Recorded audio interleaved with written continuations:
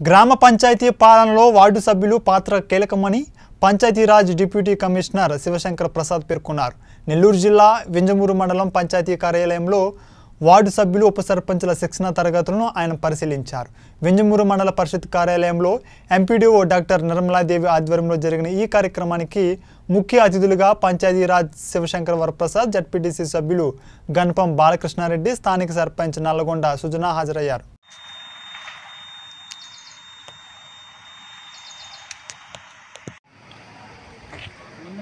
రెండు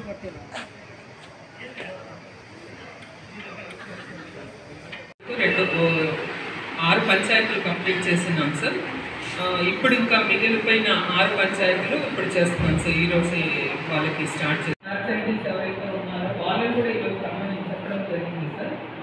ఇవాళ most probably అంటే పోయిన వాళ్ళు వచ్చేసరికి పదకొండు పదకొండున్నర అవుతుంది సార్ చూపిస్తారు ముఖ్య అంటే ఒక కొన్ని డైరెక్షన్స్ మన ఎంపీపీ గారిని ఇవ్వాల్సిందిగా కోరుతున్నాము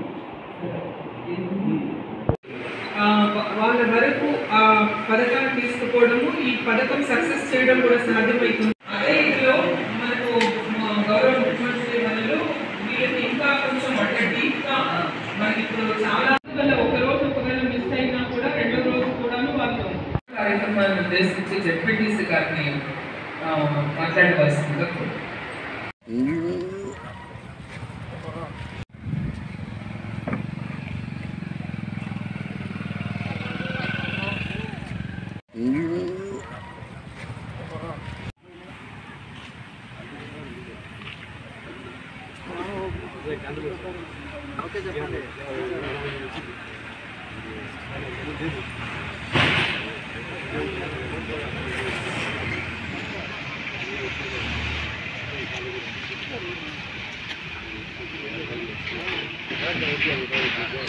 నమస్కారాలు.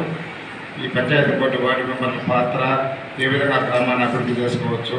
వాళ్ళ విధి విధానాలు తెలుసుకోవడానికి ఇది ఒక మంచి ఉదాహరణ. ఇంతకుముందు ఏ ఆంధ్ర ఏ- ఏ గవర్నమెంట్ కూడా ప్రవేశపెట్టిన విధంగా ఈ విధంగా ఈ గవర్నమెంట్ ప్రవేశపెట్టడం చాలా గర్వించదగ్గ విషయం.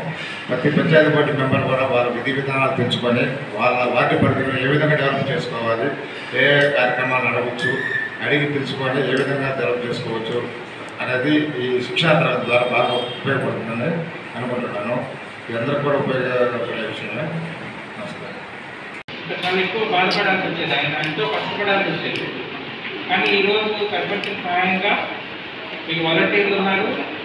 ప్రతి పంచాయతీకి ఒక సెక్రటరీ వచ్చారు ఈరోజు ఈరోజు సెక్రటరీ ఒక సర్పంచ్ గారు సెక్రటరీతో మాట్లాడాలి కానీ సెక్రటరీతో కలిసి మీటింగ్ పెట్టుకోవాలి అంటే ఆయన ఒక మూడు నాలుగు పంచాయతీలకు ఒక గ్రూప్ ఎగ్జిక్యూటివ్ ఆఫీసర్ ఉండేవారు ఆ రోజుల్లో. తర్వాత సెక్రటరీ వ్యవస్థ వచ్చినప్పటికీ కూడా నాలుగైదు పంచాయతీలకు పోయి క్లస్టర్కి ఒక సెక్రటరీ ఉండేవారు.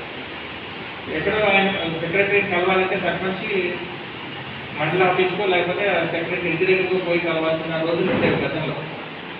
ఇప్పుడు ఈ ప్రభుత్వం జగన్మోహన్ రెడ్డి గారు వచ్చిన తర్వాత ఈ ప్రజల యొక్క సమస్యలన్నీ కూడా గ్రామాల్లోనే మనం తీర్చాలి. వాళ్ళని ఎక్కువగా మండల స్థాయి కానీ జిల్లా స్థాయి కానీ జిల్లా కేంద్రాలకు తిరగకూడదు అన్న ఉద్దేశంతో ఈ గ్రామంలోనే పరిపాలనా వ్యవస్థలో సమూలమైన మార్పులు తీసుకొచ్చారు. సంస్కరణలు తీసుకొచ్చి ఈ వాలంటీర్స్ని సచివాలయాన్ని తీసుకొచ్చారు గతంలో పనిచేస్తున్న వార్డు సభ్యులకి మీకు చాలా తేడా ఉంది.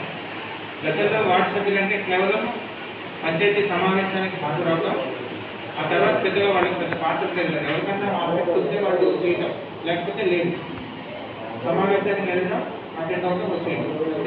ఆ సమావేశానికి కూడా చాలా మంది హాజరవ్వాలి మూడు సమావేశాలకు హాజరు కాకపోతే పదవి పోతుంది అన్నటువంటి ఉద్దేశంతో మళ్ళీ ఆ సర్పంచ్ గారు వాళ్ళ ఇంటికి పంపించి ఆ పుస్తకాలన్నీ సంతకాలు పెట్టించినటువంటి రోజులు ఆయన తెలుసు ఇవన్నీ కూడా అలా కాపాడుకోవడం కోసం వార్డు కానీ ఈ రోజు అలా కాదు.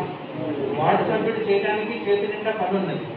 కాకపోతే మీ అందరూ చేయాల్సింది ఏమంటే రోజు ఎంతో కొంత సమయం మీరు వెచ్చించాలి గ్రామ అభివృద్ధి కోసం మీ వార్డు అభివృద్ధి కోసం. మీ వార్డు అభివృద్ధి చేస్తేనే మీ గ్రామ పంచాయతీ అభివృద్ధి చెందుతుంది. వార్డులో పా- పంచాయతీ చేయాల్సినటువంటి నాలుగైదు పనులు ప్రధానమైనటువంటి పనులు తప్పనిసరిగా మీరు బాధ్యత తీసుకోవాలి. ఆ ప్రజలకు సంబంధించి పారిశుద్ధ్యానికి సంబంధించి కానీ తాగునీరు కానీ రహదారుల నిర్మాణానికి సంబంధించి కానీ ప్రజల ఆరోగ్యానికి సంబంధించినటువంటి విషయాలు మీరు తప్పనిసరిగా పట్టించుకోవాలి. ఇప్పుడు జగనన్న స్వచ్ఛ సంకల్పం అని ప్రభుత్వం అమలు చేస్తారు ఎందుకు చేస్తుంది? ప్రజారోగ్యానికి సంబంధించినటువంటి ప్రథమ కర్తవ్యం గ్రామ పంచాయతీ. ప్రజల ఆరోగ్యాన్ని పరిరక్షించాల్సిన బాధ్యత హెల్త్ డిపార్ట్మెంట్ కాదు మెడికల్ హెల్త్ డిపార్ట్మెంట్ అంటే మనం జబ్బు వచ్చిన వాళ్ళ దగ్గరికి వెళ్తాం. జబ్బు రాకుండా చేయాల్సింది ఆరోగ్య